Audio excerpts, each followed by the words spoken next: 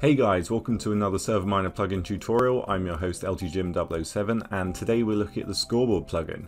Now this is a really simple but easy to configure plugin which allows you to create these custom scoreboard and headers which you can see on screen now and they are animated as well which looks really cool. So you can make it display a variety of placeholders like ping, location, name, rank, etc. You can really customize it, it's very easy to do and overall it looks awesome.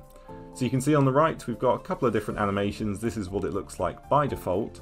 So let's go ahead and jump into the config file where we can change all of this and customize it. So here we are on the SMPitNet control panel and we want to go into the scoreboard folder. Once in here you'll see four YML files. So we've got the main config, the scoreboard, the tab list for the footer and the header.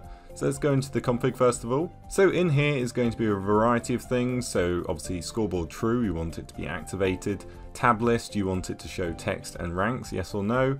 If we scroll down, we've got all of the ranks here, so you can obviously add uh, more ranks depending on how many are in your server. Then we've got the time and date format here, and then do you want a notification if there's an update, and you want auto update it on or off. So that's pretty much everything uh, for this config file. So here we are in the scoreboard.yml and as you can see we've got each line and each animation. So if we look at the first one, this one just says scoreboard and a different color just runs through it one letter at a time.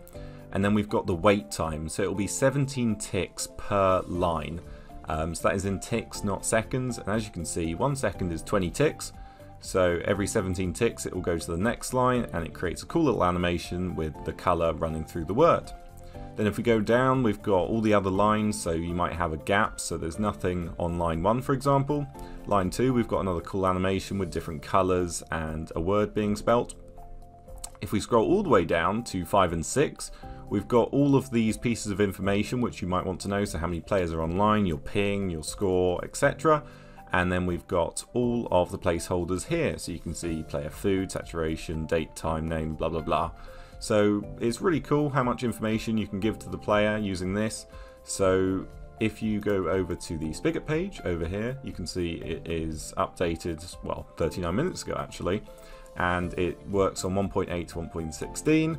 And here is the uh, German section. So if we scroll down, there is the English section. And you can see here are all the placeholders that you can grab. So the percentage, whatever the placeholder is, and then another percentage, and that will grab that piece of information and display it. And then obviously if you've got any suggestions, you can PM the developer. But let's go ahead and customize one of these. So up at the top here, you can see I've changed one of them. The wait time is now 23 seconds, and I've just made a really simple animation of Serverminer changing colors, very simple. And if we go ahead and save that, and then we will look in game a little bit later what that looks like. Then we have the tab list for the footer and the header. So if we jump into this, we'll have a quick look. This is very straightforward. Um, so we've got pretty much the same stuff. We've got just various placeholders and it will say what, what it means above. So here we are back in game. So what we need to do is forward slash SB, that will show us the command. SB info will give a bit of information about the plugin, so the version and the author. Then if we do forward slash SB reload, that's going to reload the config file. And if we look to our right, Scoreboard changes to server miner and you can see our little animation where it goes from kind of gold to blue. So that is the plugin. If you're looking for a scoreboard plugin, I'd highly recommend this one. It works really well. If you need a server to host it on, check out serverminer.com for the best and cheapest hosting around. But that's it for me. Subscribe, like, comment, and I'll see you next time.